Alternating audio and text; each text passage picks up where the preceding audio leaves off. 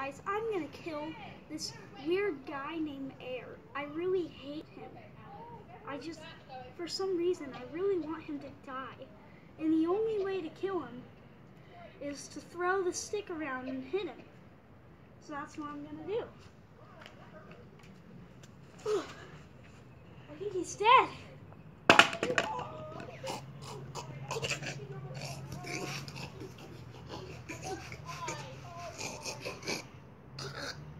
Thank you.